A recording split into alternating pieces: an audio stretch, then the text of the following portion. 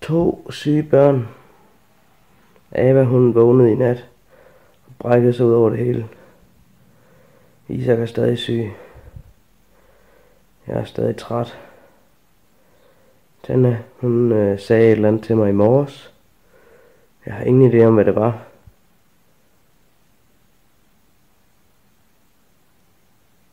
Så træt er jeg. Så endnu en dag hjemme og lave nada.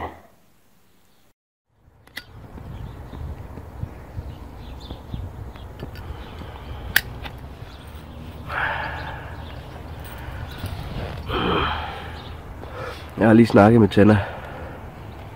Hun kommer lige med forsyninger. Fordi hun har bilen. Hun køber lige lidt mad til os og lidt kaffe. Og donuts til børnene.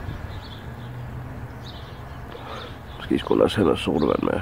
Ah, det går sgu nok. Vi har vand. Kæft, mand.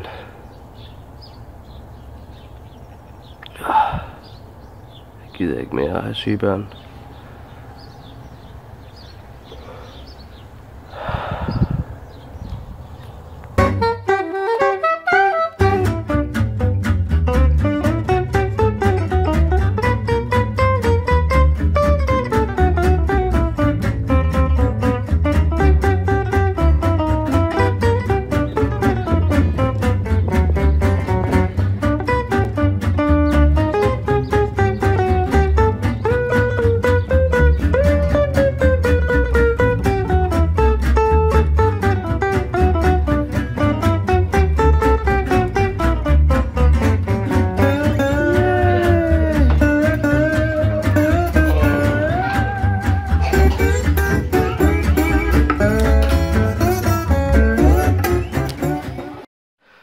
Så Tænder lige med øh, forsyninger.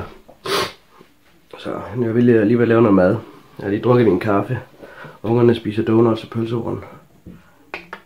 Ja, boy! Så Quesadillas, motherfucker.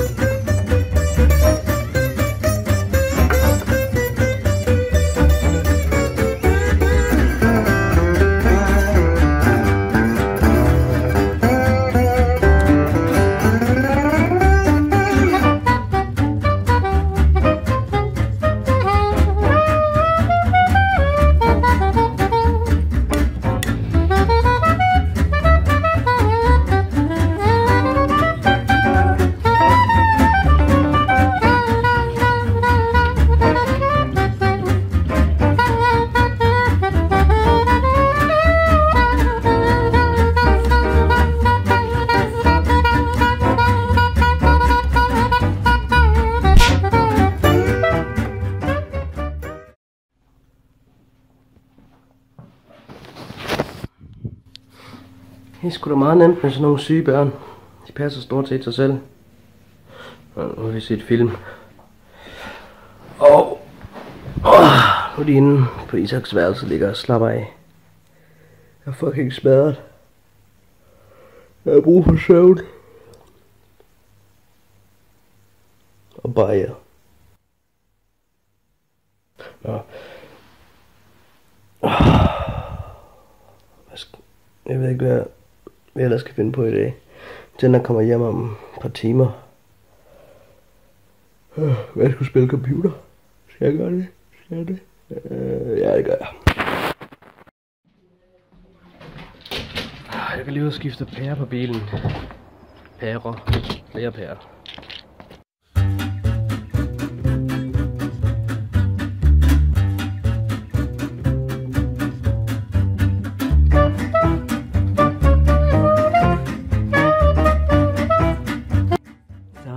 Disney show, motherfucker. Disney show. Undskyld.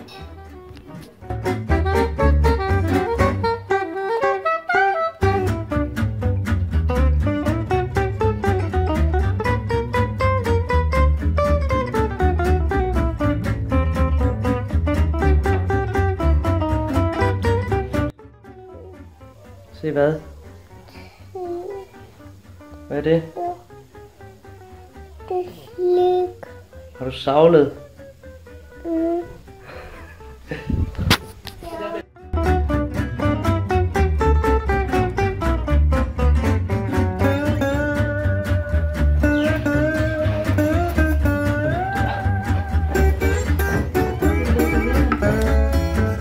I fucked the pussy.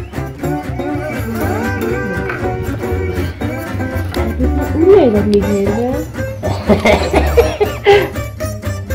Well, it will not for dating. No more fuck the pussy.